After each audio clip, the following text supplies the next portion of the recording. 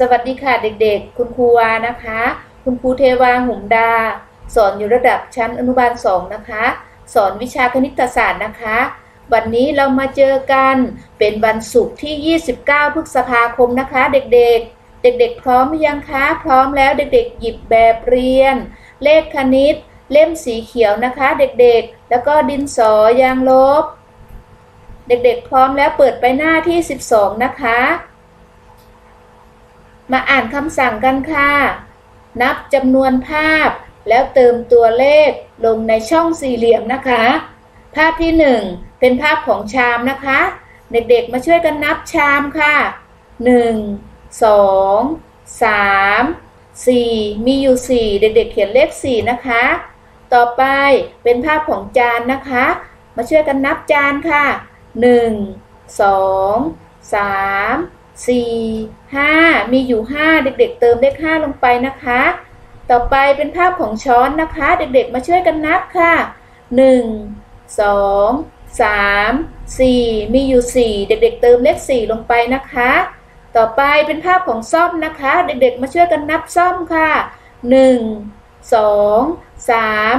สี่ห้ามีอยู่ห้าเด็กๆ เติมเลขห้าลงไปนะคะ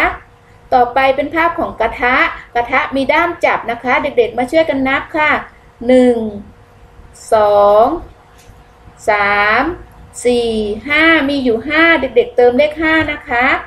ต่อไปเป็นภาพของมีดนะคะ เด็กๆ มาช่วยกันนับมีดค่ะ 1 2 3 มีอยู่ 3 นะคะ เด็กๆ เติมเลข 3 ลงไปค่ะ ต่อไปเป็นภาพของตะหลิวนะคะ เด็กๆ มาช่วยกันนับตะหลิวนะคะ 1 สองสามสี่ห้ามีอยู่ห้าด้ามนะคะ เด็กๆ เติมเลขห้าลงไปนะคะ ต่อไปเป็นกาน้ำนะคะ เด็กๆ มาช่วยกันนับค่ะหนึ่งสองสามสี่มีอยู่สี่นะคะ เด็กๆ เติมเลขสี่ลงไปค่ะ ต่อไปเป็นกระติกน้ำร้อนนะคะ เด็กๆ มาช่วยกันนับค่ะหนึ่งสอง สามสี่มีอยู่สี่เด็กๆ เติมเลขสี่ลงไปนะคะ ต่อไปเป็นกาต้มน้ำนะคะ เด็กๆ มาช่วยกันนับค่ะหนึ่งสองสามสี่ห้ามีอยู่ห้าเด็กๆ เติมเลขห้าลงไปนะคะ ต่อไปเป็นภาพของหม้อนะคะ เด็กๆ มาช่วยกันนับหม้อค่ะหนึ่ง